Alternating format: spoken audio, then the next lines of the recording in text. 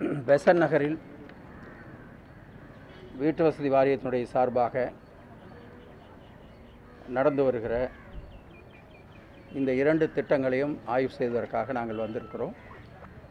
மாண்பு முதலமைச்சர் அவர்கள் மொத்தமாக தமிழ்நாடு முழுவதும் வீட்டு வசதி வாரியத்தினுடைய சார்பாக நடக்கிற அத்தனை திட்டங்களையும் ஆய்வு செய்ய வேண்டும் நேரில் அங்கே இருக்கிற மக்களுடைய எதிர்பார்ப்பு எப்படி இருக்கிறது என்பதையும் ஆய்வு செய்து அதற்கேற்ப நம்முடைய பணிகள் அமைய வேண்டும் என்று சொல்லியிருக்கிறார்கள். எனவே பெசன் நகரில் திருமண மண்டபம் முதல்ல திருமண மண்டபம் இந்த இடத்துல இருந்தது. இங்கே இருக்கிற கொஞ்சம் பேருடைய விருப்பம் அது திருமண மண்டபமாகவே இருக்க வேண்டும் வேறு எந்த கட்டிடமும் அங்கே வரக்கூடாது என்பது அவருடைய விருப்பமாக இருந்தது. ஆனால் அப்படி இருக்கிற பொழுது அந்த திட்டம் வெற்றிகரமானதாக இருக்க முடியாது.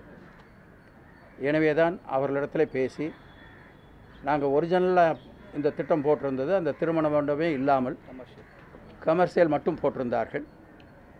அதற்கு பின்னாலே நம்முடைய அரசு அமைந்த பின்னாலே மாணவம் முதல்வர் அவர்களுக்கு அந்த தகவல் சொல்லப்பட்டது.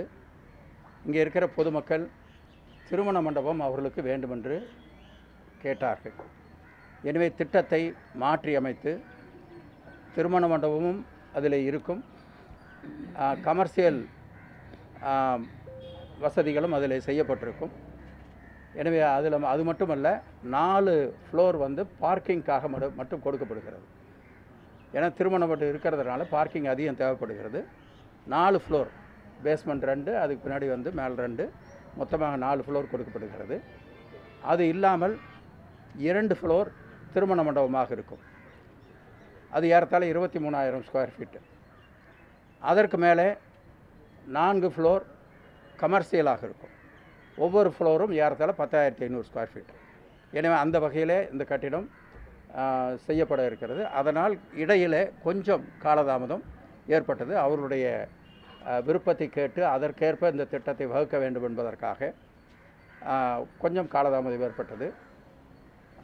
மாண்புமிகு நல்வாழ்வுத்துறை அமைச்சர் அவர்கள் மாசு அவர்கள் இங்கே இருக்கிற நம்முடைய கட்சி நண்பர்களை வைத்து இங்கே இருக்கிற பொதுமக்களோடு பேசி அதற்கான ஏற்பாட்டை ஒரு வழிமுறையை நமக்கு செய்து கொடுத்தார்கள். அதற்கு பின்னால் இந்த பணி இப்பொழுது துவங்கி இருக்கிறது. விரைவாக முடிப்பதற்கான நடவடிக்கை எடுக்கப்படும். இது அநேகமாக ஒரு ஸ்கொயர் ஃபீட் வாடகை எழுபது ரூபாய் வரும் என்ற வகையில் அமைக்கப்பட்டிருக்கிறது. ஏன்னா கட்டிடங்கள் அவ்வளவு சிறப்பாக தரமாக நல்ல எலிவேஷனோட மிகச்சிறப்பாக வரும் என்ற வகையிலே தான் இதை நாங்கள் அமலாக்க திட்டமிட்டிருக்கிறோம்.